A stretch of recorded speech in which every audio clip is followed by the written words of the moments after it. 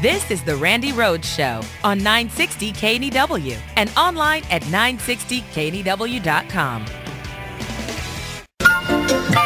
Hey, Bill, you don't look so good. What's the matter? I'm just feeling the side effects from this dang recession. I, I just can't shake it. Maybe you have something else. Ever hear of a debt crisis? Oh, well, yeah, but I don't think that... Here's Paul Ryan to explain it. We are facing a debt crisis in this country. That proves it. Jeez. You see, you could have a debt crisis. Debt crisis. And not even know it. Oh, no. Now I'm scared. Good. But don't worry. Paul Ryan has a solution. The new Ryan budget. This is a document, a plan that balances the budget in 10 years. Wow. Okay, how does that work? Simple. The Ryan budget identifies government programs that benefit everyday Americans. And it eliminates them. Anything to get rid of this debt crisis I didn't even know about.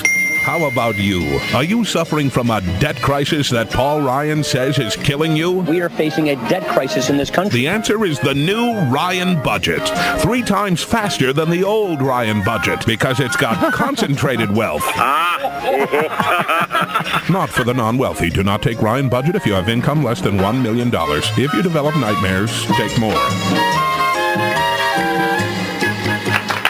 May cause anal leakage. Yes, Paul Ryan selling the Olestra of our time, the Ryan budget, which really should be burned in a secret oven in the Vatican. And Black Smoke ought to come out and say, mm, you know, uh, or we could sue him, misdiagnosed. Misdiagnosed. He diagnosed me with a deficit crisis, and the truth is, we need jobs. You know, misdiagnosed. Uh, I, I just, I, I can't, I, I, cannot believe that he's doing this for round three. I mean, you, you've probably followed what's happened so far. You know, you, you have uh, Paul Ryan saying that the law is the law and he's not going to relitigate the law and blah, blah, blah, except for Obamacare. Uh, that law he hates. That is a bad law. That is a law he wants to repeal, even though he's including in his deficit reduction figures the amount of money that we've saved so far under Obamacare. $716 billion. And he counts it twice.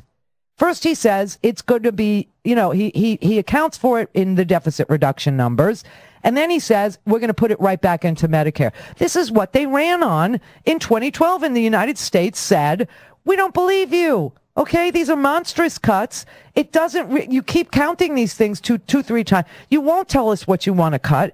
This is not. We're not going to give up on health care. It's already passed. The amount of time and effort it took us to get it done, the amount of money we're saving, and the amount of money our seniors have already saved by closing the donut hole, at least partially. The amount of money we save by not having to buy our kids separate health care policies, and we're just able to include them on our employer health care policy for a little bit extra, is good. The amount that the growth of the Medicare program has slowed is good. We like this thing. What is wrong with you? And he says, well, we have to repeal it.